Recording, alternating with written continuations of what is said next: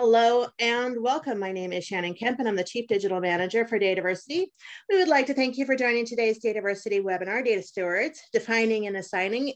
It is the latest installment in a monthly series called Data Ed Online with Dr. Peter Aiken. Just a couple of points to get us started. Due to the large number of people that attend these sessions, you will be muted during the webinar. For questions, we will be collecting them via the Q&A section or if you'd like to tweet, we encourage you to share highlights or questions via Twitter using hashtag DataEd. And if you'd like to chat with us or with each other, we certainly encourage you to do so. And just to note, the Zoom chat defaults to send to just the panelists, but you may absolutely switch that to network with everyone. To open the Q&A or the chat panel, you may find those icons in the bottom middle of your screen for those features. And to answer the most commonly asked questions, as always, we will send a follow-up email to all registrants within two business days containing links to the slides. And yes, we are recording and will likewise send a link to the recording of the session as well as any additional information requested throughout the webinar. Now let me introduce to you our speaker for today, Dr. Peter Aiken. Peter is an internationally recognized data management thought leader. Many of you already know him, know him or have seen him at conferences worldwide. He has more than 30 years of experience and has received many awards for his outstanding contributions to the profession. He has written dozens of articles and 11 books. The most recent is Your Data Strategy, and Peter has experience with more than 500 data management practices in 20 countries and consistently named as a top data management expert. Some of the most important and largest organizations in the world have sought out his expertise. Peter has spent multi-year immersions with groups as diverse as the US Department of Defense, Deutsche Bank, Nokia, Wells Fargo, and the Commonwealth of Virginia, and Walmart. And with that, let me turn everything over to Peter to get today's webinar started. Hello and welcome. Shannon, thank you as always for inviting me into this program and, and to working with everybody around the world on uh, all of these wonderful topics. Yes, today we're going to talk about data stewards and two particular aspects of it. When we talk about defining, one of the important things is that we all agree on the purposes for which they are being applied, but also it's important to make sure everybody outside of our group understands the same thing. And with those two things in mind, then the assignations, the particulars of data stewardship become relatively important. Uh, so we'll talk about in three parts, uh, what do we need from data stewardship as a role? And what are they supposed to do? What are the, the data stewards supposed to do? And then the last part, we'll talk about specifically assigning data stewards with an eye towards tangible improvements. Uh, about an hour from now, we'll come back uh, for the favorite part, which is uh, uh, the Q&A session where we uh, get to take your questions and find out how we should tune this going forward and what we're looking for. So let's uh, dive in, ready to go here. Uh, what is it we need to do with data stewardship as a role? Well, first of all, we have to agree on what the definitions are. So I'm going to give you some definitions around that. We're going to talk about the role of strategy and why it's so important for stewards to be focused at a strategic level and why it's important for the strategy itself to be of, of actionable use. Uh, then we'll talk about strategy as implemented through data architectures. So diving right in, if we were in person, I would ask the question, how many of you all are starting your stewardship programs as opposed to restarting your stewardship programs? And the answer is typically about half and half. So first of all, don't feel badly. It does seem as if three is the magic number instead of two, unfortunately, but uh, hopefully the information you take from this this uh, webinar will be good for avoiding that uh, perhaps unnecessary false start uh, around that. Because it really is about getting on the same sheet of music. And if you are a musician you understand this implicitly. If you don't the music defines this language uh, musicians speak. I happen to play bass. Uh, one of the things that makes me as a collaborator, because I'm not good enough that you'll want me to come and play at your wedding going bump, bump, bump, bump behind it, right? So we'll use this as a metaphor for the next couple of slides here. Uh, first of all, one of the things you'll see about data stewards is that they cipher from the same hype cycle that everything else does. Uh, when you see something like this around that says, I am the one person at work you can't possibly live without, it actually is probably a true statement, but it's not where I would start, uh, where I would lead with my uh, first piece forward on that. in fact, we should go to the dictionary for things such as this, just as a good reference point. And let's start out with the first definition of steward. Well, it's a person who looks after the ships on a, plane, excuse me, the passengers on a ship or a train or an aircraft. Nah, that's not the one we want. Uh, official who appoints to supervise arrangements or keep order in a large public event. No, definitely not there either. But here we go. The third definition, a person employed to manage another's property. Yes, that does sound interesting. They have specific references here to a large house or an estate, but uh, people take care of things. Again, the, the second example there, a person whose responsibility is to take care of something. Farmers pride themselves on being stewards of the countryside. Stewarding, therefore, we're not going to look at this definition of you know, organize something around that, but to manage or look after, uh, particularly a property related aspect of it. So there's a value component and an ownership component of it here. And if we look at this manage and look after in a person who's employed, we can see there's a job classification that we need to have called a data steward that manages the data assets on behalf of the stakeholders and in the best interests of the organization. Something very clear to be precise about. You probably don't have the resources right now to do everything. So your data steward should have a limited scope and you should find out what the effectiveness of the data steward can be given that. Uh, again, they have a duty to represent the interests of all the stakeholders and take this executive perspective. We'll look at it from a couple different ways today. Uh, they should have dedicated time and resources in order to be uh, uh, uh, held accountable for it. Uh, so we need to introduce the concept of trust here. That is uh, the idea that somebody is, is uh, trustworthy in this case, and more importantly, in a specific subset of trust. In this case, having a relationship between a trustee and a beneficiary uh, in this case. So we'll talk about these things in more detail. Let's go back to the word steward for just a minute, however. And, and again, steward of the land, great. One who actively directs is actually the dictionary definition. But if we add data steward, we can, I think, pretty easily agree that the one who actively directs the use of the organizational data assets in support of specific mission objectives is the way you should really think about this uh, going forward. Because unfortunately, in the past, there's been confusion IT has thought that data is a business problem. A, a typical response might be, uh, if they can connect to the server, my job is complete. On the other hand, business looks around, sees somebody with the title Chief Information Officer and wonders who else would be taking care of my data. As a result, data has fallen into an enormous chasm between IT and the business. And we need to work actively to repair that chasm because what has accumulated in the meanwhile is a ton of data debt. Uh, data debt is the concept that you're going to have to make things better before you can learn how to use them properly. And the idea is getting back to sort of a neutral state around this involving undoing existing stuff with some skills that you may or may not have uh, around and once you get to zero, at that point, you typically are going to be asked to require an annual proof of value. There are five people in your group. Everybody in your group, we're going to value at 100,000 per year. Uh, you need to show 500,000 per year in value on a regular basis. Uh, again, a reasonable request on management's part. Uh, by the way, you get to get good at both of these at exactly the same time today. and going forward, of course, almost all of these data challenges involve interoperability, and that's where we can assign value around it. I'll come back to that theme as well. There isn't very much guidance uh, around these, and very little focused on getting us back to zero. So data debt is a, a challenge that we need to work on. It slows the progress of organizations, it decreases your quality and increases costs. These are the hidden data factories that exist around your organization. Thank you uh, Tom Redman for that uh, excellent description of the process. Yes, Shannon. Sorry, I, am still getting reports, especially as you're transitioning, that it's super fuzzy. If you can get it. Um, Not sure what we can do there, but we can. Uh, I'm down as about as low as I. Uh, let me try one other thing here. And it's unchanged from where we've been. Yeah. Yeah, and some are saying it's not fuzzy. So you know, um, for those experiencing fuzzy, try reducing the size of your screen too. Um, that might help, but uh, there's something else you can do. Sorry. Oh no, I want to get it right. All right. And sometimes it's just transitioning. I think it's still some bandwidth issue, but. Uh, it certainly won't be the first time bandwidth has been a challenge, right, Shannon? All right, man. All right. Back in. Thank you. Thank you so much. All right. So the, the, the, key here is the, the analogy of the princess and the pea. Uh, again, wonderful fable. It's, it's interesting that the title is actually The Princess on the Pea. It's the original Danish transition of his uh, thing. And the idea is that there's a, a discomfort somewhere way down in our system and the, the princess up on the top can't figure out and is, is unhappy as a result.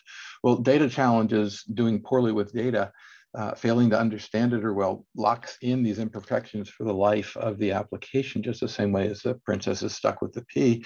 it really restricts the available options that you can have in terms of additional investments and decreases your leverage overall, accounting for migration, conversion, and improvement 20 to 40% of your IT budget. That's a lot. So bad data causes everything else to take longer, cost more, deliver less, and present greater risk. Thank you, Tom DeMarco. Let me give you an example of that just real quickly, which is the idea that the airlines had a really interesting article written on them last uh, uh, July. And the idea was that they were valuing American Airlines at the time at about $6 billion. Uh, but the data in the Advantage program was valued between 19 and 31 billion. Similar numbers for United, 9 billion for the organization, 22 billion for the data in the mileage program, uh, an increase of a lot of money. And I, again, attribute all of this to data debt, primarily because organizations uh, have had challenges around figuring out where strategy should play a role with respect to data. Uh, what you'll see, I think, most often is a incorrect scenario, which starts out with an organizational strategy of what we should do, but then in addition to that, some sort of an IT strategy, and subordinated to that is a data strategy. Uh, I do believe this is. This is wrong. Thank you, Morgan Freeman. I apologize for stealing him, but he does it so well on that. Yes, this is wrong. And the reason it is wrong is because the data strategy actually has as much interplay, if not more perhaps, with the IT strategy as it does going the other direction. So let's talk for a minute about what is strategy. And we haven't really used the term much at all before 1950 outside of the military context. Strategy is this conceived of today as a master plan, a 100 page document, a thousand PowerPoints, uh, whatever you're doing, but it becomes a thing, unfortunately. And that's really the wrong way to think of it, because if we go back to the original military definition, it's mm. much more of a process. And the definition that we'll use here on is a pattern in a stream of decisions. So let me give you three examples of strategy very quickly. Walmart's former business strategy was everyday low price. Pretty straightforward. Everybody understood it. Very easy to explain. If you had to have it, everybody in the entire organization understanding one thing about Walmart, this is the thing that they wanted you to understand. A second definition of strategy then is Wayne Gretzky's definition of strategy. He skates to where he thinks the puck will be. After all, if you're chasing a hockey puck around the ice, which is slippery, and goes the uh, hockey puck goes faster than you can skate, there is no hope of catching up. So you must instead anticipate and be ready to react. And that is his thought. Lots more on this particular discussion at his Wikipedia article, which is a, a wonderful collection and here the third example is just a bit more simple, excuse me, a little bit more complex. I don't know why I said simple. Uh, the example is how do I defeat the competition when they're bigger than I am? Uh, the answer, of course, is divide and conquer. Remember, again, our pattern in a stream of decisions here. So I want you to imagine with me just briefly the battlefield layout. First of all, it was focused around lines of supply because an army does march on its stomach, or more importantly, if it's being attacked, it's more likely to run back towards its stomach than it is away from its food and clothing and shelter. So the red, the Prussian, the British, excuse me, up here in the upper left-hand corner, and I know this slide is this is historic stuff, so I can't I can't change it. It's blurry on this stuff. But anyway, they're they're running back to Ostend, and the uh, the Prussians are heading for Liege, uh, which is right here. And Napoleon observed that if he could hit them in exactly the right spot, they would both likely fall back in different directions. Plan one, hit them very hard in exactly the right spot. Plan two or part two of plan, uh, whatever was, you have to, everybody agree who we're going to go after collectively next. And the idea was everybody turn to the right and defeat the Prussians, because if we're all focused on defeating the Prussians, we're bigger than the Prussians. Remember, combined, these two are bigger than us. But now we can turn our attention and defeat the British. Sounds like a great plan. Didn't work so well. And let's just take a quick look at perhaps why, although it is still taught as an example of good strategy. First of all, again, remember, both armies had to get hit in just the right spot. Then we had to to all turn right, defeat the Prussians, then all turn to the left and defeat the British. Oh, by the way, let's do this while somebody is shooting at you. This is complex and difficult. And as you already have figured out, did not work in this instance in here. Let's take one more quick look at something which is just a, a, relatively complex environment. If this is something that somebody might put up and say, I'm going to build a structure around this, you would say that is more complex um, than alternative models. It's not that one should or should not be.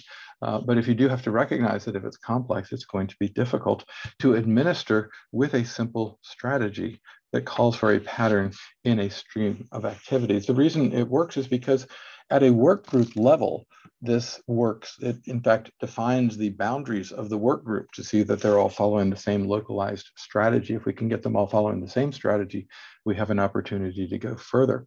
Next up, we need to understand how this strategy works into this context of governance and architecture, or truly architecture governance, if we want to talk about it that way.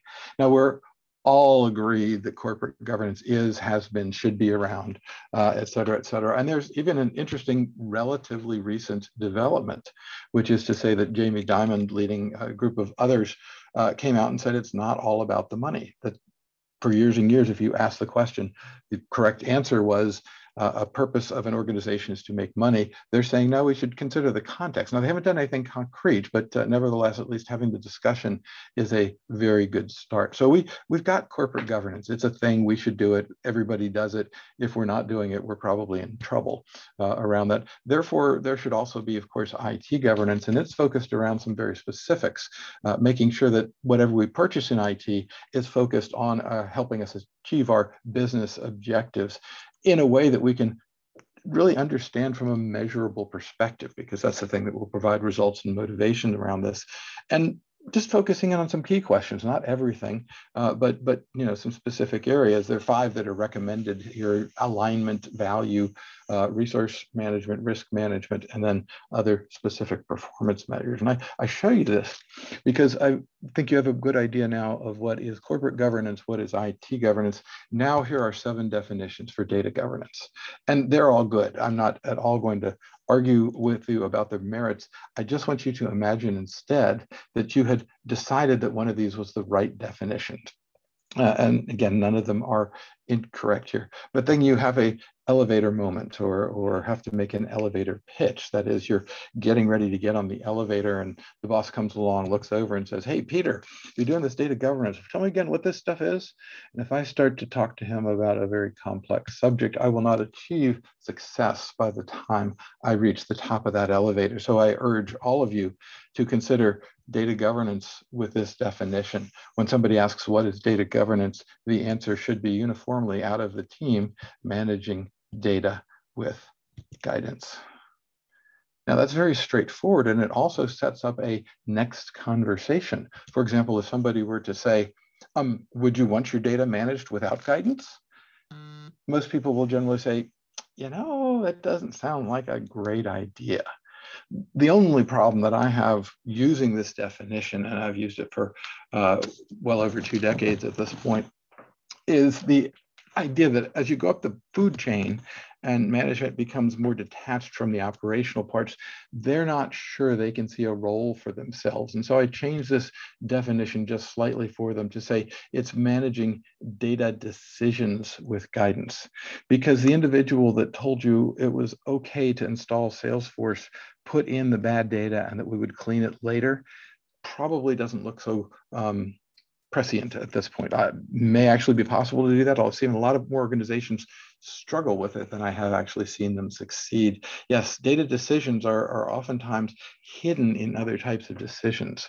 Now let's take a look at how we're going to implement these data decisions in an operational context. First of all, of course, IT provides the bones, if you will, uh, uh, you know, the, the architecture, the garden, the foundation here. You can see I've labeled that in blue. In the upper left-hand corner, of course, we have leadership. Then we have business participants that uh, play in this that kind of like to do this. Again, uh, if you're, I'm at the Department of Housing and Urban Development right now. My participants are very interested in, in housing data, as you might imagine. And it's a, a wonderful way to learn about a new area then there's everybody else. And finally, we've got, of course, our subject of today, data stewards. Now, notice I've written underneath it data trustees. We'll look at that uh, in a bit. And three products that stewards have been associated with the Glossary of Data Dictionary Catalog. By the way, they're all different and yet they're all the same. And gosh, if they aren't integrated on the back side of this, we are in trouble.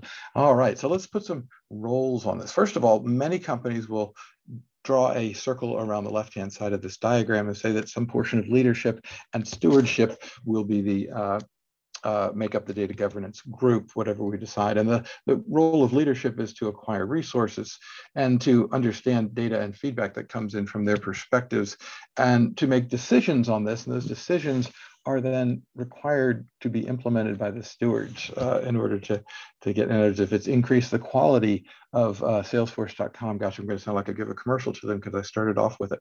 Uh, but anyway the, the if, if Salesforce is the idea here, well, we need to change this. Maybe we should shut it down for uh, a month and, and fix it and then turn it back on. Maybe we should re reload it. Maybe we should clean the data first and load it a second time. Many different types of decisions. Uh, the stewards are the ones that are responsible for implementing that. They want some action to take place that affects the close in participants as well as everybody else that this changes uh, impact all the way around. We need to have development and feedback coming both from IT as well as from the participants that goes in so that leadership is able to make an informed guidance around that particular piece. This leads us to the definition of architecture, which is quite simply the high level abstraction of dealing with things uh, the function of those things and how those things interact with each other. Don't worry, we're not going to watch that video uh, in there, but it just involves some dancing. Instead, let's look at some architectures, which is just silliness. This is actually a cartoon, but it's a good one because it's instructive in that it shows how Amazon is organized versus how Google was organized at one point in time. Wow, Facebook, do we really need a structure? Microsoft, again, uh, eliminating their own products. Apple, everything's evolving around one individual. And Oracle uh, with a much larger legal, legal team than a, an engineering team. And the, the reason for doing that is because you can identify with these things and understand how they come into play very, very easily. This gives everybody in the organization a common vocabulary, eliminating the express integrated requirements so that data assets are stored and used most effectively in support of organizational strategy. We don't want everybody, as they currently do, talking a Tower of Babel. We want a unified understanding so that they understand as an architecture, which is documented or articulated as a digital blueprint illustrating the commonality and interconnections among the actual architectural components and sharing this understanding by systems and by humans. It's a very important connection points. All organizations have architectures, and the only question is if you don't have an idea what your architecture is, it cannot be understood. It cannot be understood if it's not documented well, and it can't be made useful if you haven't done those things. Of course, data architectures are no different. We need to have them all focused in that same area. All right, first section done. Now, as we're looking at what data architects are supposed to do, we're going to talk about how they resolve challenges in the organization, a framework for working within them. I like to describe stewardship as a fire station model because, again, people can relate to that. And we'll talk about a specific role in the context of data governance. First piece up in terms of resolving challenges is that data stewards need to be protected from your organization. Just say no to the concept of data ownership. If you have to reference something at all, absolutely reference instead the term fiduciary relationship, but allowing somebody to own the data and defining data owners is one of the biggest barriers to people correctly understanding how to use that. For example, who would you define as the owners of the data to which counting plays? And we have to go from here to the concept of what is a fiduciary relationship. And that's a person who is legally obligated to act in the best interest, including uh, lawyers, uh, trustees, doctors, uh, accountants, corporate directors, legal guardians, there's many others. The three top duties that they have are to act in good faith, to provide a duty of care and loyalty to the client in this case, and that fiduciaries have specific legal and ethical standards that they must adhere to. Don't worry, we're not going to start bringing in lawyers to do data governance, but never fear, it won't take long uh, in order to do that. So this concept of a fiduciary is well established and people understand that. We have to make people understand that the stewardship concept applies in this exact same format. The reason, unfortunately, we have to do that is because there's always been a big gap between how organizations get from data to information.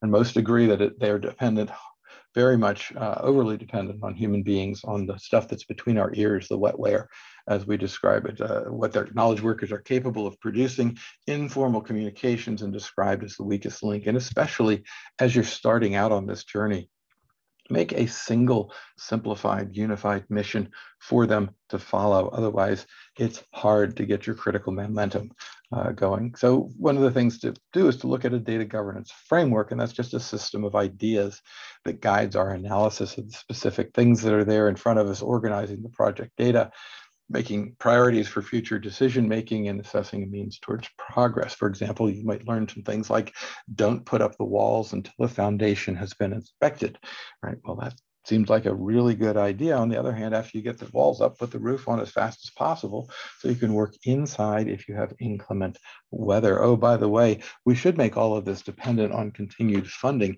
Interestingly, that IT does not operate in that fashion. Uh, neither does corporate governance, which allows organizations to make uh, investments of tens of billions of dollars without a very good hope of returning it if that money had been placed in advertising. For example, there would at least be an anticipated increase in sales uh, around that.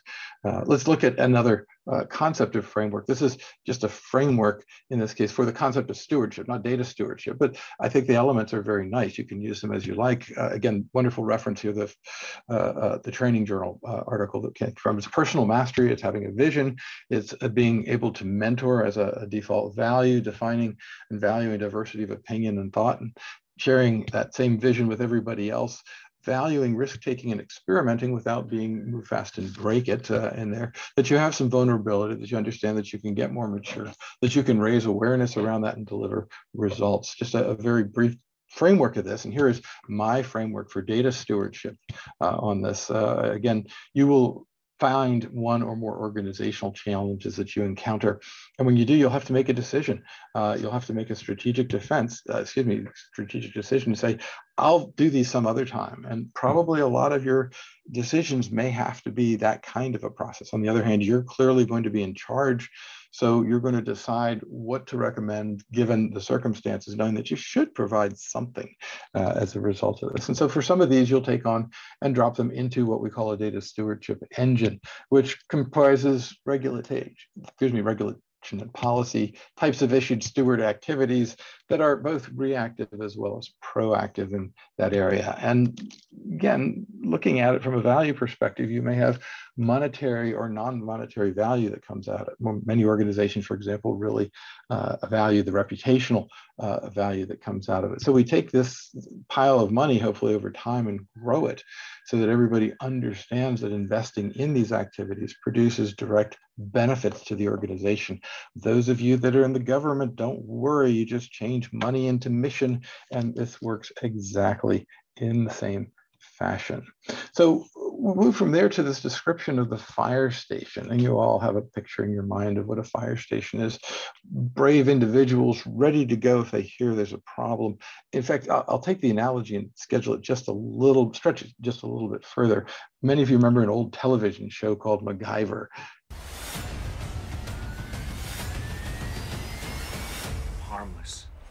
MacGyver was the guy who was able to solve any problem under any circumstances. And that true also is going to be of you data stewards. Because when you think of what's going on in data stewardship, the most important aspect of it is back to our hidden data factories that Tom Redman introduced us to. Uh, all IT challenges, all business processes disguise data problems in one form or another. And the data steward is the only person who's capable of drawing together all of those disparate strings and understanding that the root cause of these poor results is a data problem and that fixing one or more of these data problems will solve many more of these business challenges that are out there in the organization. And the only way that you can do that effectively is to have consistent analysis. You cannot depend on one-off kind of analysis. First, this is new. Second, it is not as proven as other, quote, proven technologies, ERP. Uh, so eliminating the data debt does require a team with specialized skills that's deployed to create a repeatable process and that develops organizational skill sets that are sustainable. And we also know that the firehouse is often vacant when these individuals are out fighting fires, but they also are out oftentimes doing proactive activities. And that is an important role to understand because in the proactive world, there's a ton of very interesting components that we can do with education, with preventative, with checking, fire inspecting, all sorts of things that can be done in this sort of proactive, reactive version. Now, many organizations don't anticipate quite as active a role for these data stewards, but uh, bear with me for just a minute. Let me just show you what the dimensions of that look like. When we look at what's happening in our organizations, we see the idea of, of course, data governance is to produce systemic changes. Over time, things are going to get better. It's important to realize that well, let's just take a metaphor. The the uh, everybody says that the, uh, the, the data is like oil, right? Well, I don't like that particular statement because it implies that we can use a one-way production function, and actually, the most important component of data is reuse, not use. So, um, a better way of thinking about it instead of oil is soil. And if you think of data as soil, there are two things that come to mind instantly. One is that uh, nobody walks about their yard and just spreads seeds randomly about the yard and, and expects good results. Instead, you carefully prepare a bed and you carefully plant the seeds to nurture them as they, they grow. And the other part of it is a time dimension. Nobody plants things on Monday and expects to eat them on Friday. But unfortunately, remember this everybody that you probably talk to from this point outwards in your career knows less about data governance than you do, and particularly about data stewards. So you're going to be explaining to them what these things mean and perhaps changing some already existing um, cognitive bias that they may have. Uh, again, as a data leader, and I do include data stewards as data leaders uh, in this leadership category because you are the ones who have the most expertise uh, about your specific subject areas uh, in here. They have some idea, they have some feedback, and, and, eventually organizations will start a data governance. Now, I will give you one data point. Um, Shannon and I participated in a wonderful event back in December uh, where we had about 300 uh, data governance leaders join us in uh, San Diego for an in-person event, and we're looking forward to one also in June uh, of the same caliber uh, around this. Uh, just terrific to see everybody and, and, to interact. But also, we asked the question and found out that the average size of a data governance effort of the people that were at our conference was one. So that's interesting. It says the, the multi groups have have it figured out and the ones don't uh, maybe i don't know or maybe uh, the ones had an easier path to, to a pattern we're seeing an awful lot of uh, large corporations that have not yet lifted their travel uh, bans. Anyway, back to our, our, our, slide here. Yes, data governance, and most people think of it as we're doing some things at the policy level, and that means that data will improve over time. And people will generally nod their heads, but I do feel it's important to actually go the next step and say, now that, that is kind of like sitting at the bottom, the base of Niagara Falls. And expecting to influence the water quality from that position. Uh, clearly, you have to go upstream, and the further you go upstream, the longer it's going to take for the water to refresh. Similarly, too, you have some sort of a data refresh cycle. So data improves over time, but the time might be measured in quarters and years rather than in weeks and months uh, around that. And that, while it's okay for some people, some people think that that is too slow and they want to know if there's something that can be done faster? The answer is, of course, uh, data leadership can also sponsor what we call a data improvement project. And then we can say that data improves as a result of focus. Let's go back a couple slides and present that one, excuse me, pretend that one of your data stewards had come up with a wonderful uh, description of a problem that if they identified this one thing, it would solve 100 things. Uh, you know, great multiplier and, and attach some very good value to it. So there's no question it was going to be done. You might ask data management to do that uh, in the organization, but I found that organizations working together as a team produce better results uh, in here. So we think about this as sort of this nail getting on uh, wheels and having some specific focus and achieving some sort of tangible result in that action? Well, obviously, the sooner we can get this feedback loop improved, the sooner we can get our structure of stewards, community participants, and uh, again, just every data user involved, uh, the easier it will be for us to make data things happen. Now, unfortunately, this is where most of the stewardship groups that I've worked with over the years have stopped, is that they've been very excited about data things happening, but we have to get excited about not just data things happening, but also about organizational things happening. You'll notice I've drawn the approximately equal sign in there which means this is an area that we can continue to improve upon. Uh, while it's good to satisfy and, and be happy, uh, celebrate, excuse me, that, that we've uh, got these data things happening, that's wonderful. It's better still for us to translate them into those dollars. And if we can do that, we are going to be able to uh, a value our own results very, very well.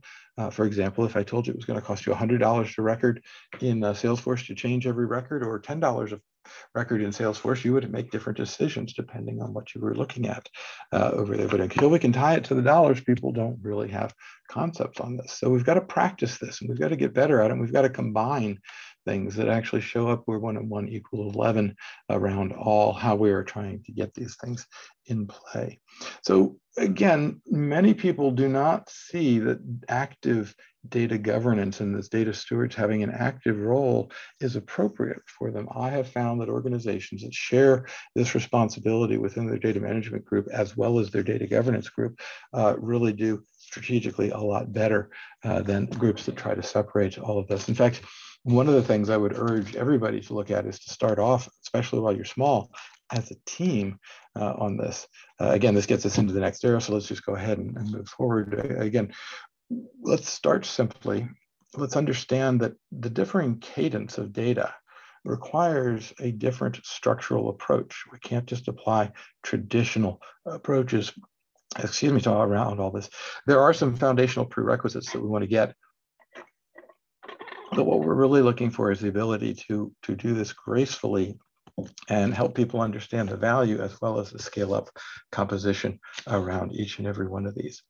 All right, so uh, first of all, here's just a one article that just says, look at this. If you're a whatever, this is what your steward is. And you have to learn all this stuff. And yes, it's complex and, and yes, it's difficult. In fact, I would actually start off with a very simple approach. And I, I do this out of um, great love for David Plotkin's book. He gave a great definition of these. And he's not at all suggesting that you start with these, but one has gotten the impression when one looks at this many stewards to figure out that they have to figure out the differences between each and every steward up front at the beginning of their journey where they know the least about it. It's generally not a recommended idea. By the way, also, if we're going to put this many stewards in play, we also need uh, a data steward auditor as well as a data steward manager. Again, David did a wonderful job with his book, recommend it heartily. Uh, let's go back to our original definition, very, very simple one who directs uh, data assets in support of specific organizational missions. And then say the important question here is actually not the one, how should we manage this data every time we come to a piece of data, but instead look at it from the perspective of, should we include this data item within the scope of our stewardship practices? The important thing there is you're specifying some kind of objective rule, excuse me, subjective rule, excuse, I'm so sorry, objective rule, where you can specify precisely what's actually happening here and saying this is within my scope, this is not within my scope. Uh, again, remember you're claiming fiduciary relationship here, not ownership uh, around that. And the idea is most importantly document your reason. It's not that you're going to make the right decision although you'll get better at it uh, and certainly make decisions but document that reason in an ongoing blog or whatever it is that you do to, to a lab notebook is a, a rule that i use in, in many instances that gives you the ability to understand what's going on here. So the problem is when people hear what you're doing. Oh, I hear you got something going on here. They'll get, yeah, there's something going on data, and you're trying to tell them that there's this data governance program that you're part of. And guess what they hear?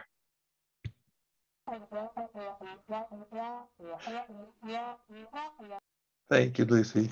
Uh, sorry, Lucy's teacher uh, around all, Charlie Brown's teacher around all that. Yeah, they, they just don't get it. Most people that I talk to that are not in data don't get the difference between the data management, data governance program, the big data and everything else. They just lose it at data. And that's important. So I would suggest a starting place is to start off and say, we have a data program. And that, that's what we're going to talk about. And once you've got the idea that have a data program, we can talk about who makes it up. By the way, data stewards are part of the data program, and that will give everybody an idea of where they fit in. What do the stewards do? This was, I wish I could find where that came from, but it came from, uh, I think it was something at Capital One, but I'm not positive. Um, again, nice description about it, tangibly within an organization. What do they do to improve our organization's value, and what do they use to uh, achieve the organization's objectives in there. So we've got two things. We've got better quality data and we've got better use of the better quality data. That's a wonderful multiplier for most organizations. Similarly, you need to also advocate or uh, evangelize for increasing this scope and rigor of these data-centric practices and ensure the effective and efficient delivery of data management perspective. But unfortunately, most organizations really don't pay attention to doing that. They uh, they, they change those last three and leave them off. Uh, but here's what the perspective of the steward really is. The perspective of the steward is that there is this thing called an organizational data machine, and all inputs going into the organizational data machine and all outputs are data. And in fact, everything going into the organization, everything coming back out of it is also.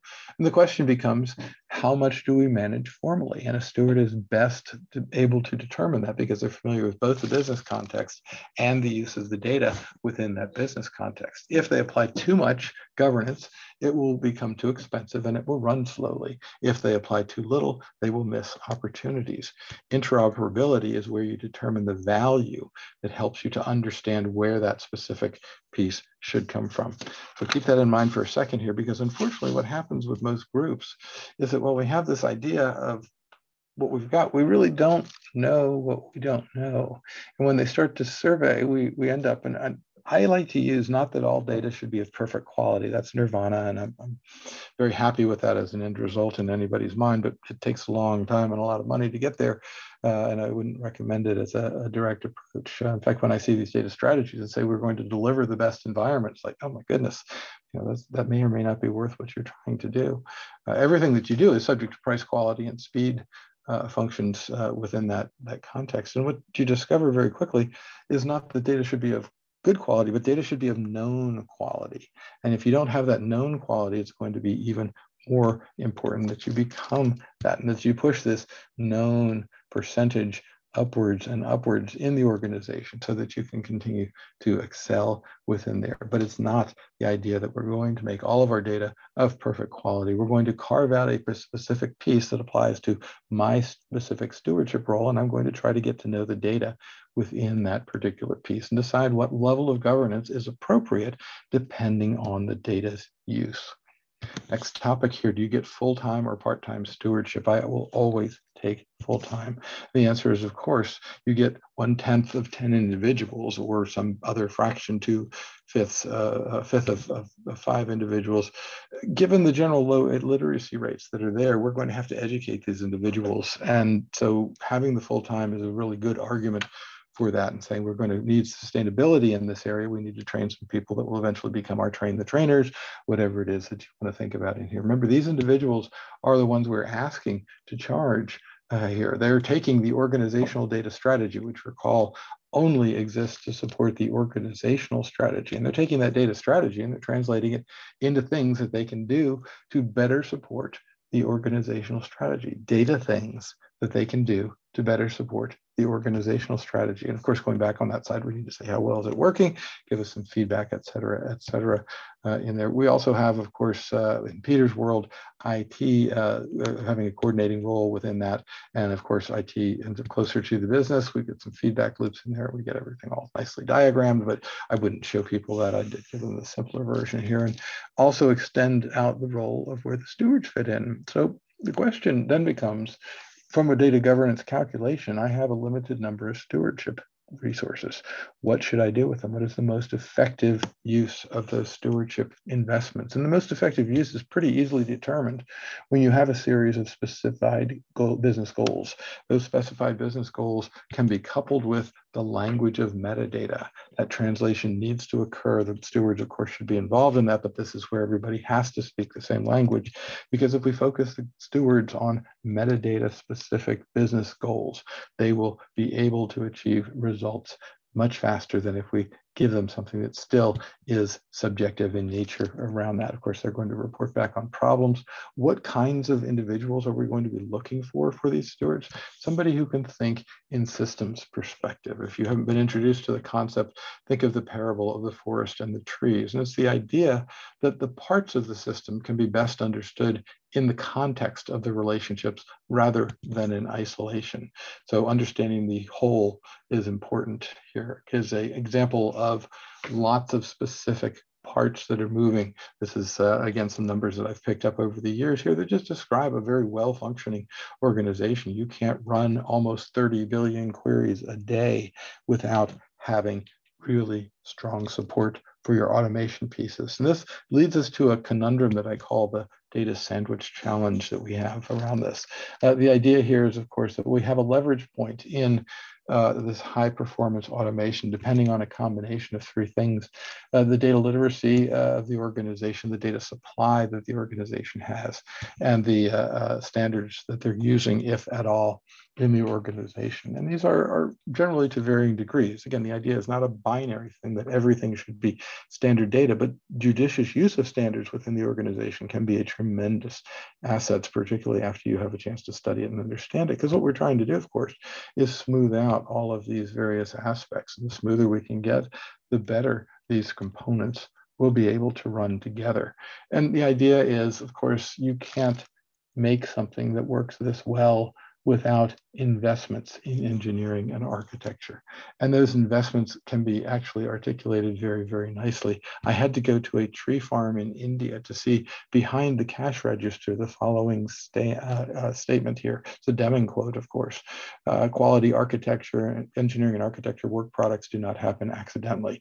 Just thought that was so wonderful to, to discover that there. And of course, we enhance this, of course, with our data stuff here, put our data ears on, and uh, we get this uh, data engineering. So we can't, without a significant investment in data engineering and architecture through the use of our stewards, uh, create products that will provide the performance that we need to have in order to be able to achieve what we're attempting to achieve organizationally. Data is not a project, and thinking about it from a classification perspective, it's closer to a durable asset, an asset that we invest in and expect more out of at a future date, uh, an asset that has a usable life of much more than one year. And while it may be reasonable to expect project deliverables in 90 days or sprints if you're in the agile uh, software development world, no problem. Data evolution is, like I said before, more correctly measured towards years than it is towards 90 day increments because data does evolve. One of the, the gratifying things about being as old as I am uh, is that I've gone back to organizations I worked with 40 years ago and, and found that they are working with primarily exactly the same data that they were working with uh, over the years. It is a significantly more stable component than anything else. And this is, if anything, one of the excuses that the CIO community has is that if we had had the stability in data that they've had in the, excuse me, that they had in, in their IT evolution that we've had in data, they would be a, a lot further and faster and, and in their own maturity curve as well. Uh, again, these architectural components need to be ready and a prerequisite to agile development because uh, otherwise you'll just develop more data silos. And the, the only way to avoid doing this is to commit to understanding one, the difference between a project and a program. And if I were in live mode, I would ask you to raise your hands uh, and tell me if you're a PMP certified, which is a wonderful designation and, and uh, quite useful around this. I'm not going to read the, the ideas on this, but just very definitely one of the easy things to differentiate between a project uh, is that a project has a start and a finish. And since data tends not to have starts and finishes, uh, it tends to be long in the tooth. It's much closer to a program. And you need to make management understand this, uh, that the, the idea of your uh, data program has to be uh, long in the tooth there as well in order to uh, apply correctly around this. The, the idea here is that uh, your data program, it needs to be as long and as well funded and as steady as your HR program.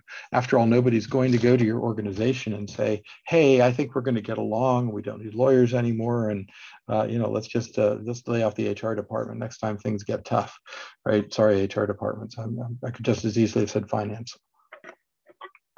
That would be just as incorrect in each case, but the, the key here, of course, is that most organizations have functioned with a uh, semi-functioning data program an underfunded data program and un unable to uh, function correctly data program because they're blocked from certain uh, key technologies and aspects here. Uh, so this is why you need a data program in there and why stewards are one of the most important elements of that program that is there. See, a stewardship perspective on this is very different than probably most. The steward perspective is going to look at an organization and have plans, and those plans are going to translate into things that the organization does. And sometimes the things the organization does actually turn into products that they make, although you're seeing less and less manufacturing in corporations and more and more outsourcing around all of that. Uh, again, the Apple model has proven successful in other industries here as well. And so it's reasonable to say your organization is all about data in some cases, in some cases, it's not about just data in that idea. So the question is, of course, from the steward perspective, what business are you in fact in? And one of the ways to describe this, uh, again, reading the goal, uh, you'll enjoy the, the book if you haven't already. It's a, a fun process that uh, covers Alex Rogo and the uh, exploits of UniCo uh, company in here. And it, it, teaches the system that uh, uh management, uh, excuse me, that uh, system performance is a an organization that is purposely oriented but has limiting constraints and there's always one constraint that's in the way find it fix it and move on to the next in order to do that because of course an organization is only as strong as its weakest link in the critical processes. And data, of course, ends up being on the critical processes very quickly, which requires a special skill on your part in order to be able to identify these areas. Let me give you an example mm. of just what that might look like. This is a somewhat typical organizational set of practices that I see. There's a group called data management that operates in a somewhat black box sense. Not that they are not being transparent, it's just that nobody tends to give them any love uh, what's going on in there. Uh, uh, they are producing data that is then consumed by whatever the ETL source is, or the warehouse source, or the cloud source, or whatever it is that the organization is using to consume, and then produce a series of data marts and dashboards and visualizations in the process. And that part on the right hand side there uncovers errors uh, as we would hope it would. Uh, the challenge for most organizations is that they only feed back into this first part here, whereas the feedback from the stewardship perspective should be to direct the learning and feedback back to that black box area in order to make it work properly in there. Another focus of stewards is the sequencing of activities here many organizations don't have stewards. We'll classify them as incorrect uh, in just a second here. But the idea of stewards are going to be focused on two types of activities, improving operations or innovating. And uh, not having one, of course, is not a good option on that. So our next level over there would be the stewards in uh, next uh, the the quadrant there that are focused on efficiencies and effectiveness. And i think everybody would agree that walmart has demonstrated over the years unbelievable uh, skills and uh, abilities in that area. Uh, they're they're held up as models and should be uh, around that. Apple on the other hand has been pretty good about strategic opportunities up there. But here's the part I want you to, to think of here. First of all, asking people to do both at once is very difficult. Uh, it's kind of like being in a product company and a services company at the same time. Most organizations choose to treat them separately rather than together uh, in that. So we'll get rid of the, the both component there as well uh, on this. But let's let's think about just for a minute if we took the the T3 people, and I'm going to use Jony Ive, who's the wonderful erudite uh, a British designer uh, that was with Apple for many, many years now is still uh, uh, supplying really wonderful designs uh, around this. And he, he would come on with the Apple uh, iPhone video and it would float through the air and he would tell you how wonderful it was. And he was so well spoken and things that just made you want to go out and buy them. I know I did in there. And I want you to imagine him being told to be cheap. it's just not going to work. And I similarly want you to imagine that the data stewards in Walmart who, who might be very focused on being effective and effective, uh, efficient uh, are now told to be imaginative.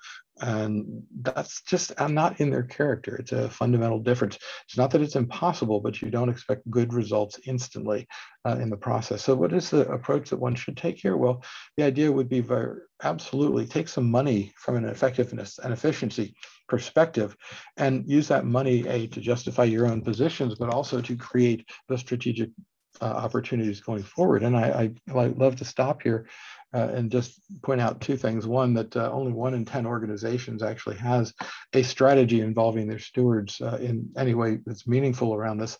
But two, that the organizations uh, that I've worked with over the years have credited me with more than one and a half billion dollars in savings. So there is money to be made in them their hills. And uh, we're not quite sure how to, to, to, to articulate it in less crude fashion, but I think one and a half billion actually does add up uh, on this. So I get upset when people say it's hard to put a, a dollar. Yes, it is difficult. Let's uh, talk about what's going on here. Well, first of all, we, we've talked about stewardship as a role here. Again, given some very solid and, and hopefully grounded definitions of stewards and data debt uh, in particular.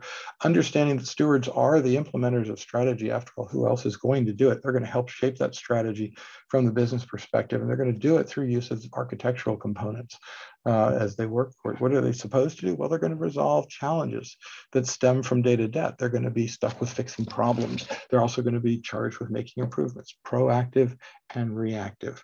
You're going to have to develop a framework. You're welcome to use mine for a starting place. Uh, I've had good uh, results with it so far. People also like the idea of explaining a fire station to uh, other people because people relate to it uh, well in there. It is important, though, for the organization to understand what the role of stewards are going to be in the context of data governance.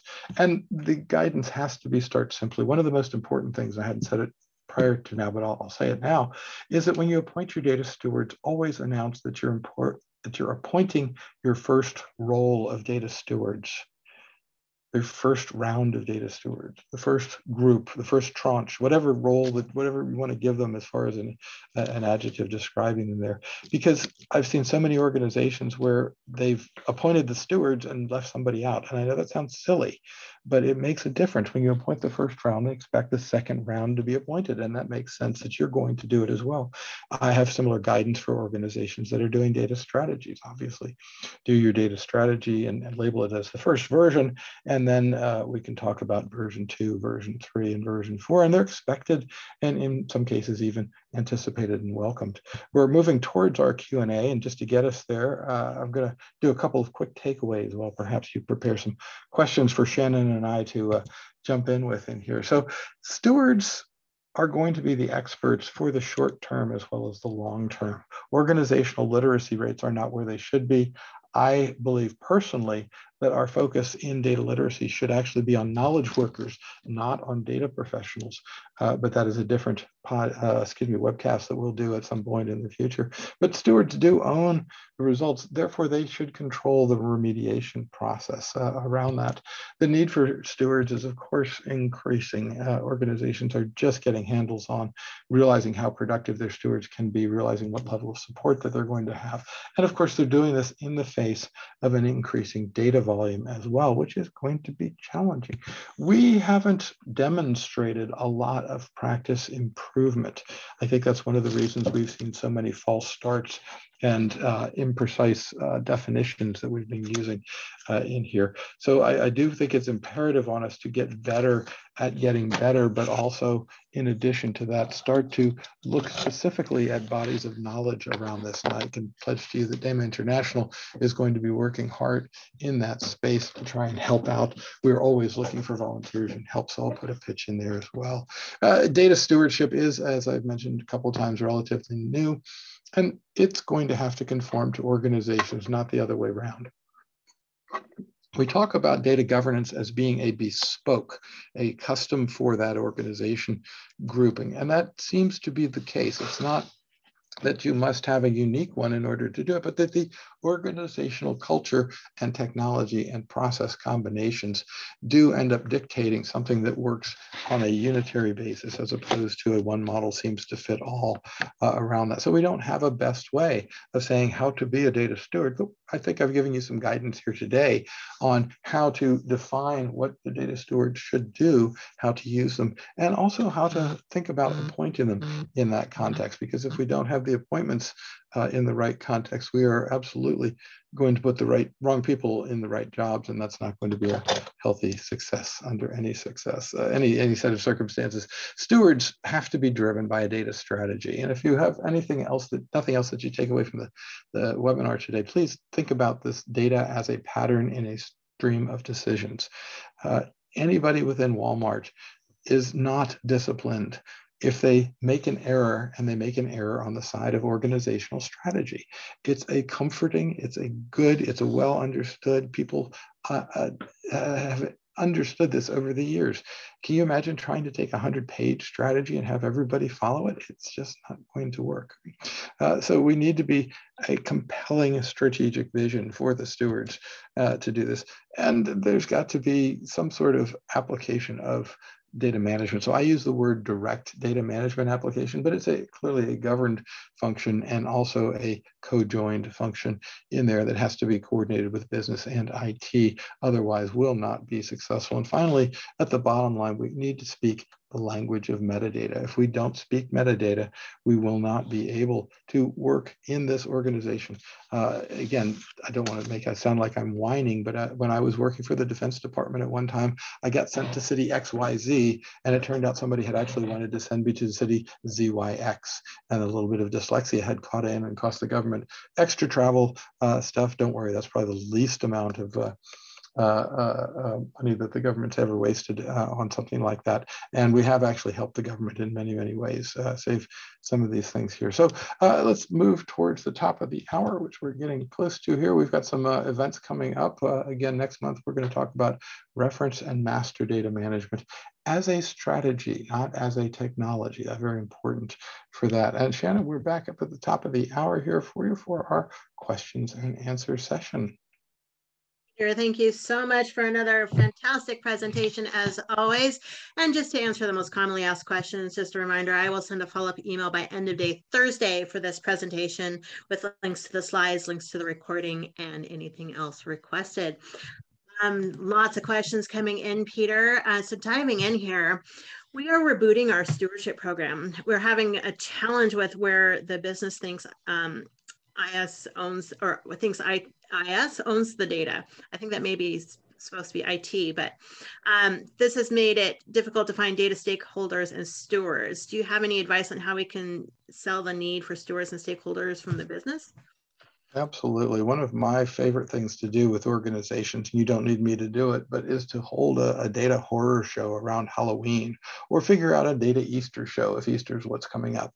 Um, but you'll be amazed at what sort of people will come up. I have a, a, a wonderful uh, office at the university, and uh, we don't use it very much these days, but we are, are down there. And one of my favorite data people I never even met until I held an event, and this individual came out of the, the back office. Oh, you're a data person too, you know? So, so be be visible about it. Absolutely. Look to attract. And, and interesting, I'll, I'll go back to Shannon, your confusion about IT and IS. We label them both. It's terrible, very bad practice. If we were being graded, we would flunk. Unfortunately, we're in charge. So uh, we have to put up with the confusion around is it IT or IS or whatever it is.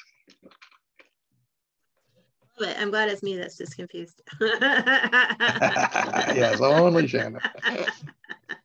um, Peter, you say that data stewards should be both accountable and responsible for data assets. Is it a good idea to partition this role? For example, add more um, a more senior data owner or data sponsor to advocate for data at a senior level, or add a data custodian who is a technical specialist who understands the data model, constraints, et cetera, and can support the data steward in implementing standards and processes. Or is it better to try and put everything one person to ensure clear responsibility and accountability? Goodness, uh, and let me pick A, all of the above, right? Or, you know, something like that to make it easier on myself. No, no, it's a good question. And unfortunately, the answer is, of course, that it depends. Um, and I'm not dodging your issue. I, what I would suggest is that you start simply and have somebody in charge of acting as a custodian or a steward or a fiduciary, and that that fiduciary role is explicitly called out. Having that kind of a person is going to be a different place for the organization. You do not need to appoint 10 of them. You can do one and see if one helps. Uh, in fact, I would urge small rather than, than large. And the, the next question was, you know, do we appoint a custodian or do we put somebody in over top of them? Your organization will evolve. Uh, I've seen sometimes where the addition of a specialist here, and I'm just going to add the auditor in, pretending that it's a specialist uh, on there, that, that that was able to materially help. Again, what is the bottom line of this? If we can make something faster, better, cheaper for the organization from a data perspective, and that that data perspective tangibly improves some of the strategic key factors that the organization is attempting to achieve, that's a win. And, and we want to be able to, to push that forward. Uh, on the other hand, uh, if you try to say, I'm going to have to have uh, an Uber uh, steward that's going to be over top of the things, uh, again, be careful on that um, because people, when they're over top, they tend to try to say, well, I should know about what's managing it. And there's a difference between somebody who's responsible for managing it and somebody who's responsible for making sure it is managed correctly.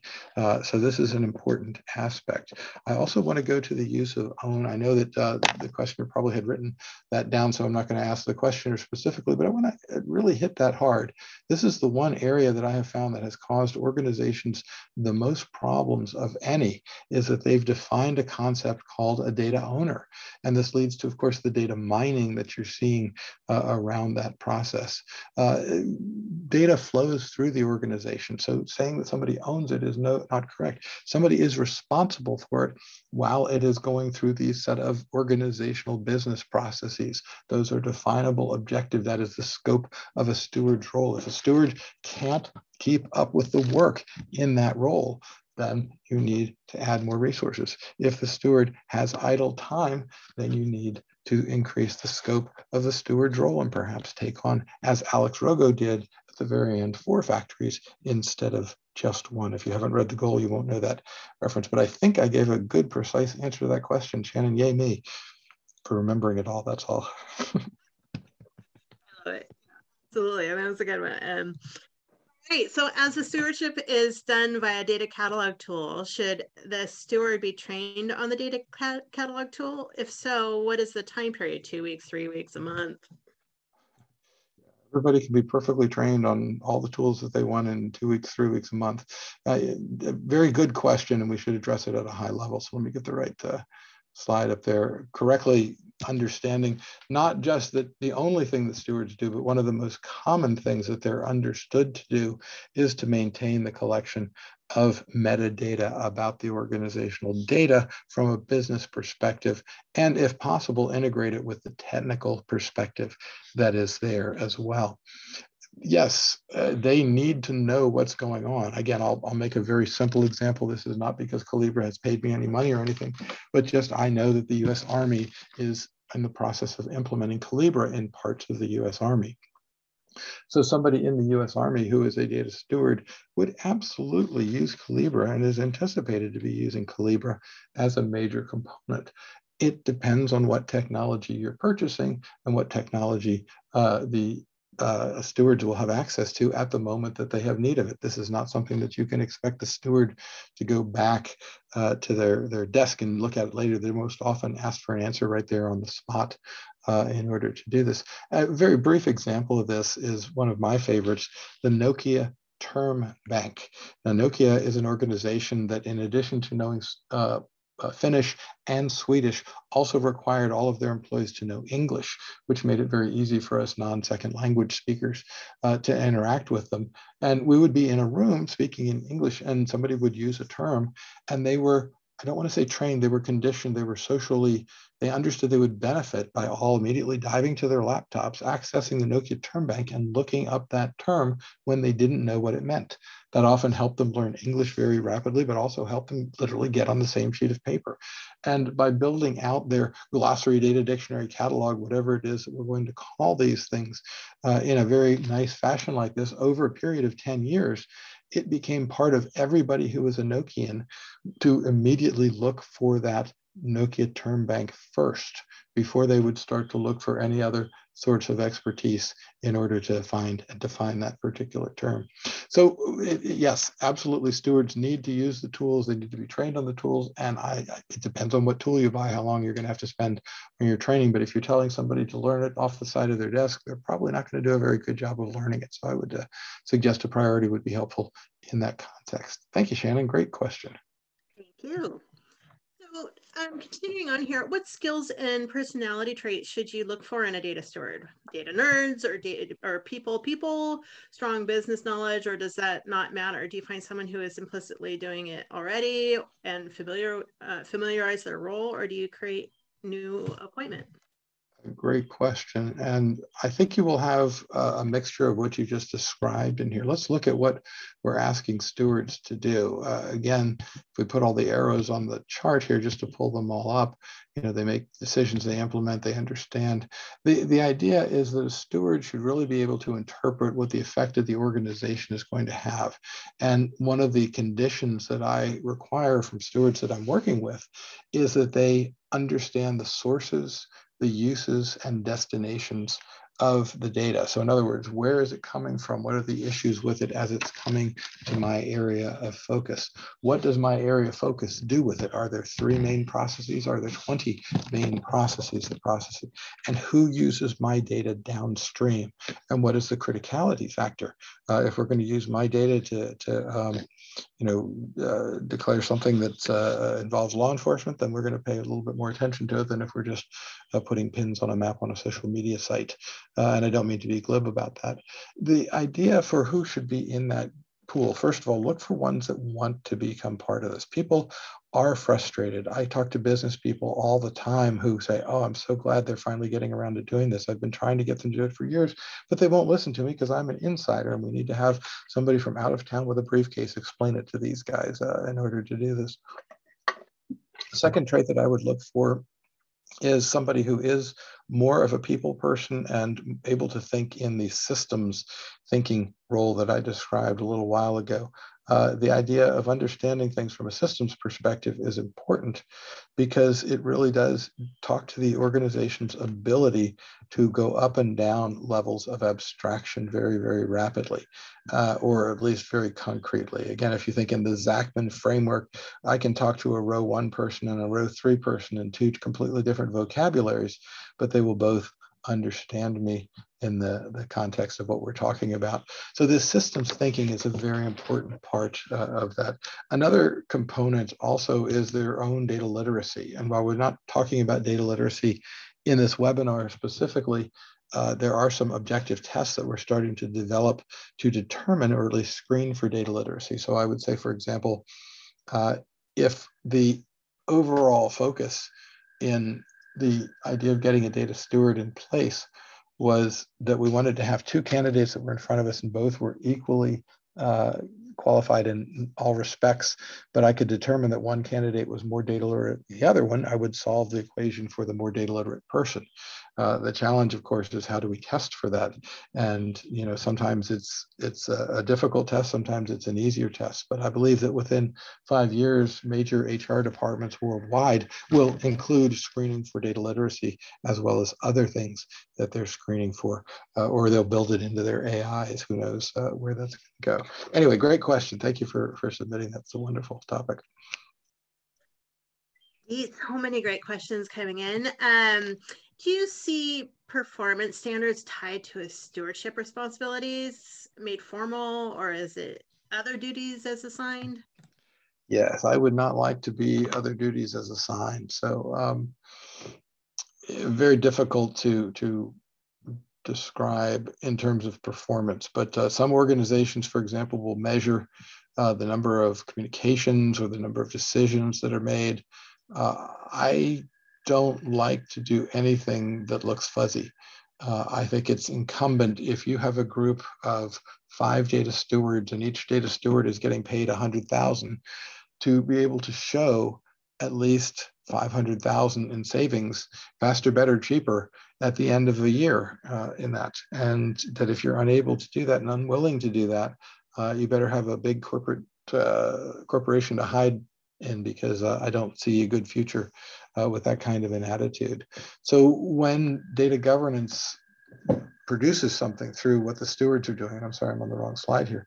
Uh, but uh, uh, in a, the way of achievable pieces, it's important to crow about it, to write it down on a website, a blog, whatever it is that you're doing, and say, this use of metadata allowed us to achieve or help achieve this business goal. And this business goal enabled my organization to deliver more in accordance with the mission or uh, enable uh, uh, saving money or, or earn additional revenue. Again, it comes down to a simple series of choices. And uh, we need to be focused on those choices to the degree possible, or we get lost, confused, and, and lose focus around it. So uh, performance standards, I think that there would certainly be a 360 component evaluating how that that individual got along with everybody else because we can all learn from each other. I've always found that type of feedback uh, to be wonderfully supportive and valuable uh, in there, and that the organization should work much more as a team as opposed to a series of departments. You go over here, I go over here. This person helps with this, and this person helps with this. Uh, but instead, that there's somebody they can trust to get answers. Uh, it's funny. I, I can remember a story from back in my youth where we had uh, what we were doing in those days. I made uh, several million dollars uh, around the world by helping organizations figure out what their ERPs had been customized to become uh, because there was no documentation on the changes that had been made. We got known as the people with the facts. And they would just come to our cubicle and say, you know, I've got a question about implementing training. And I said, well, okay, how can I help? And they said, well, I understand you've got some models or something that can show me where things are. Well, if I organize the metadata in a certain fashion, I could say that these modules are more complex than these modules. Therefore, I'd plan on investing more time here instead of here. Uh, simple things like that actually help quite a bit. So the innovation component is an important one, somebody that can think outside of the box and, and come up with this. Uh, again, I believe that as a component of, of everything that's in this diagram here right now, it is absolutely best positioned to initiate what used to be called uh, business process reengineering uh, exercises uh, you know, the old hammer and champy stuff for those of you that remember the ancient days. Uh, but it's the idea that uh, data focus. Remember, Six Sigma didn't work because most organizations can't make a commitment to it. But something along these lines is something that most organizations can commit to it. And again, if your group that costs the organization half a million clearly shows that it's saving five million, the organization is going to say, what additional resources can I give you such that you will be able to help me even better? Uh, again, great question as to those performance standards. Let's not put it into memo writing and, and uh, policy development, although those things are important. Uh, the, the business value is going to be, I believe, long run, much more important than the others. Thanks for the question. Great. And uh, another great question coming up here, you know, which we probably could turn into an entire webinar um, how do you make data stewards accountable in a very decentralized organization with very different data needs and data terms? So the terms are a starting place. If you can't agree on the terms, you will never get to any of the rest of the uh, uh, pieces on it. Let's go to the other map that I was showing about where the data stewards play a role uh, in there. Sorry, just take me a quick second to get to that. There we go. So again, remember our components here start out with little feedback. We've got some leadership, and I said the data stewards are part of that leadership uh, in there because they've got the both the knowledge of the data, but also knowledge of if we're going to call it a subject area or whatever their domain happens to specify uh, within there. So I think everybody agrees uh, on on this side of things that that's particularly important again, if I am investing 500,000 a year in this data governance structure with five full-time people in those roles, each earning 100,000 in there, and I invest that for five years, I've now invested two and a half million. And if somebody doesn't perceive that the data has improved in some fuzzy sense of two and a half million dollars worthwhile, I don't predict the future of that group is going to be a long-term future. Uh, I've seen this come and go too many times in my existence, uh, where something pops up as a fad, doesn't fund itself. But on the other hand, I just went through the example. If, if this group that costs the organization a half a million each year, uh, then has the ability to generate 10 million, uh, 50 million in response to this, the organization's not going to have any idea of saying, oh, that's not good. We shouldn't get, we should get rid of it. By the way, you can't just do it and then not tell anybody as well. We need to do the celebration piece. So the question was about accountability. And the idea is that you're going to build a structure that allows the organization to understand specifically what's happening. I'm working, for example, right now with one federal, US federal agency that has been given permission to use data under a certain set of circumstances and by another agency. And they, they want to make sure that they absolutely uh, do not violate that letter or spirit uh, of that, because of course, no one federal agency is fighting amongst each other. Uh, so they feel themselves specifically accountable for the use of that particular data. It's a, a, wonderful thing. I know too many organizations that would just go, bah, you know, I'll just do it anyway. Nobody will ever find out. Uh, uh, again, not a, a good way to do it. So we're looking at this accountability. If I've got data things happening over time and my feedback loop goes from data improves over time back into this instead of going through the organizational things happen, uh, I don't think we can be successful. And I think that people saying I cleaned 16 data elements last week uh, you know, is, or I, I, wrote a policy that's going to prevent anybody from entering in the uh, finite particulates of coal dust uh, uh color uh, incorrectly ever again. Uh, you know, I don't know that that's that's going to be seen.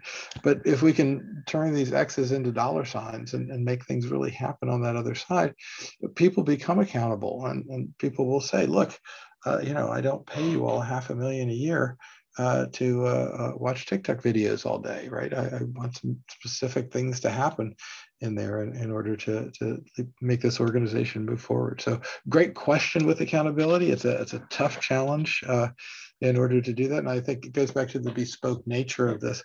I wouldn't try to be comprehensive in making them accountable, but find a couple things that you really want them to do really well and encourage them to do that. And uh, the right kind of person will turn that easily into a job description and go, cool, that looks like fun. Whereas the wrong type of person will go, ah, it seems a little fuzzy to me. I don't think I want to get involved in that. Uh, I was invited to become part of the federal government because uh, I understood the difference between information engineering and nuclear engineering. I don't know anything about nuclear engineering, so uh, it was a uh, hopefully a successful interview. Anyway, thanks for a good question. It's a it's an area we need to grow into. Peter, are business data stewards looked at to understand the lineage of the data? A leader has advised that the business doesn't understand the IT side, meaning database tables, et cetera, of the data. Is this the scope of the steward role? I would argue the scope of the steward role is understanding as completely as possible where the data is coming from, what are the sources, what are the types of things that can go wrong with that data as it's approaching uh, my my scope of operations. I would argue very strongly for an objective measure of that scope of operations because otherwise you'll find data stewards talking all about what are the parameters rather than actually getting anything substantive done. Uh, I would make sure that the data steward understands how each of the business processes in my area of domain are able specifically to be delineated and to understand if there's any cross pollination between them or whether they're all uh, using data in silos? Uh, and what are the things that can go wrong in those areas? What are the most common areas that cause organizations problems? And finally, where does that data go when it's done? Where do I do? How does it go away? Uh, let me go to this, uh, the organizational data steward's view of things, because that uh, I think illustrates it well. Uh, the, the idea again is that if we don't get the inputs and outputs of where these things are coming from, you don't have proper context for where uh, all of these bits and pieces are going. So there's a slide I was trying to get to and talk at the same time, never a good idea. But the goal is to know as much as you can about your area. And I'm going to make this one data steward. So this is one data steward's area. It may be that all the data attributes that start with an A belong to that data steward. I would question whether that was a good strategy or not uh, in order to do that. Uh, and and the, the the idea of the data stewards knowing where things come from, what they're we do with them internally, and where they go from here. That is what the definition of data lineage is all about. Part of that knowledge is that some of this data goes into a massive set of, uh, again, I'm going to make up some numbers here, a massive set of Teradata processes where it's replicated and chopped and uh, anonymized and de-anonymized and, and comes out in a format which you would barely recognize as going in. That may be legitimate business process or it may be unfortunate accidents that are occurring because you don't take good enough care of your data internally uh, around that. All of this relates to provenance and what we're really looking for is governed by the word either material or essential. Material is something that would show up as a financial reporting statement. Uh, is it material to say that your CEO had a heart attack and was incapacitated for half a year? Uh, probably. Uh, you know, that would be an important uh, uh, uh, material standing. Essential is, is part that's the, it needs to be made up of the model. That's what you're determining as you're going through in your area. What are the pieces that you need to manage what are the pieces that you need to manage with guidance? Uh, if you do too much of this, it'll be too much work and nobody will get anything done because you'll have a lot of bureaucracy. If you do too little, uh, you're missing opportunities and you need to be able to catalog those opportunities to articulate them and to, to make them known in a, a wider capacity so that you can gain support for these types of initiatives. Uh, again, probably more than you wanted, but I think that was a pretty comprehensive answer. I might have got a B on that one if I was grading myself. Peter. Thank you. And we can certainly inquire uh, for additional details if needed. But um, moving on to the next question here Do records managers have a role in data governance? Should they also advise data stewards about retention and destruction of data? 100%. And thank you for bringing that up. It's unfortunate that we don't pay as much attention to the rich tradition of good, solid literature and research that exists in the records management community. Uh, there are a number of these parallel organizations that we absolutely need to take advantage of. Uh, I'll give you an example of how dumb uh, some of us can be. Where I was in Belfast, Northern Ireland, and I, I like to travel to various cities. You guys know I, I, used to do a lot of that before the pandemic. And uh, in, in the process of doing that, I was hinting around that I wanted to get down to Dublin. And somebody finally said, uh, Dr. Aiken, that would be Dublin, Ohio, that you're trying to hint that you want to get to. And I've, sure enough, I was at Dublin, Ohio within a year because that's a place where they have done some phenomenally good work around metadata standards and uh, ignore it and reinvent the wheel at our own peril. Uh, so thank you for, for pointing that out, and I absolutely agree. It's an essential component uh, of what we're talking about from data management, and more importantly, it has a rich and well-researched tradition uh, in there. Um, I think we've got time for one more question here. You know, stewardship is a big ship to turn an organization. How important is a communication plan? Huge. Uh, I forget, I think I used to say it's 30% of whatever it was that you're doing, but I'm not sure it's not shifting the other direction. Um, it really is. I, I may have gone through this part of it too too rapidly, but people just don't get what's going on. They've got a lot of things that they're worried about. Uh, for example, one of the things I think I was probably 30 before I realized this. The higher you get up into management, the more what they do looks like lists. Now, this was an insight that John Zachman had 50 years ago, uh, but you know, it takes the rest of us a little bit to, to understand that John, of course, is always correct on this. So, uh, you know, the first thing most managers look at is, is this on my list or is this on somebody else's list? And while that's an important distinction, it's not necessarily the most helpful. But you know, if we're running around, and I see this happen a lot, organizations are trying to talk about their data governance programs and the roles of stewards in it. And again, what comes out is just this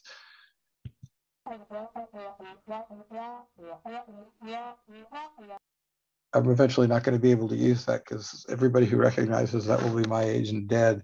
But what, what they discern is that you have a data program, and let's keep it at that level. There's an HR program, there's a finance program, and you can make the data program understand, and everybody to understand in the organization that the data programs and your accompanying data stewards are, are something that you need to have, you would not get rid of your HR and your lawyers. Uh, and that this is exactly in that same category uh, in order to do this.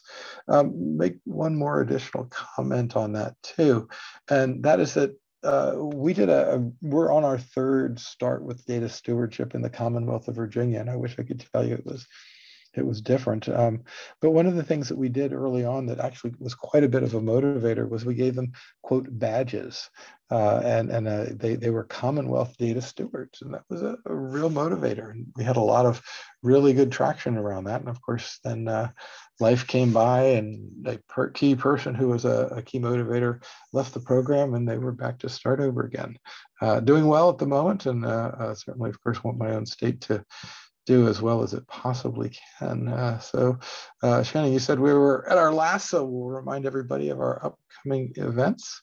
Uh, and uh, also, we have an event in person in June, as I mentioned too. So we're hoping to see everybody back then. Indeed, yes. Um, and we are celebrating and DATAVERSITY. We celebrate Data Education Month. So uh, data governance and information quality. You can use hashtag or use discount code data edu to save money off your registration there. So hopefully we can see many people in person. Um, Peter, thank you so much for another great presentation, and thanks to our community for just being the best. You, all, I love all the network that's been going on throughout the webinar today. Really amazing and awesome, and um, as you all celebrate and support each other. And uh, if there's anything we can do to help out with that, let us know. Um, also, a big shout out to all the women out there for International Women's Day celebration. Woohoo! All right. Well, thank you all again. Just a reminder, I will send a follow-up email by end of day Thursday with links to the slides, links to the recording, and all that groovy stuff. Hope to see you next month. Thanks all. Groovy. Cheers. Bye, Shannon.